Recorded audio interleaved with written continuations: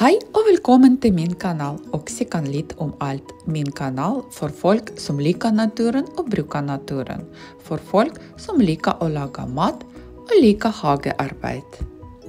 På min kanal du kan finna många goda tips för hagen. Länk finner du under videon i beskrivelsen. Och idag vill jag jeg er hur vi kan bruka träaske som gödsel för tomater och agurker. För växt och utveckling trenger planter fosfor, kalium, bor, kalcium, svavel, magnesium. Alla dessa element är en del av träasken.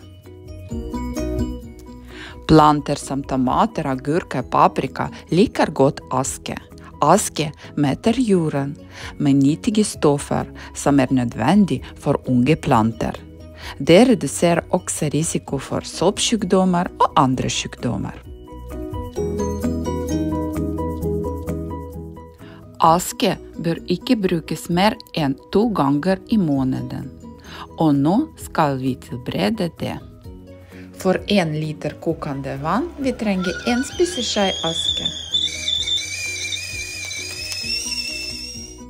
Asken blandas med varmt vatten och upplösningen ska stå och gottgöras i 24 timmar.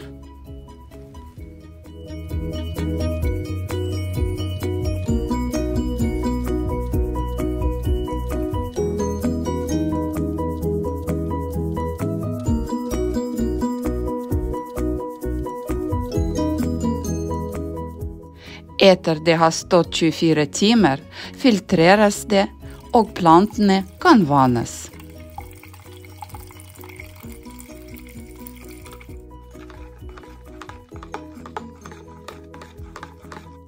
Det anbefales att göra om morgonen.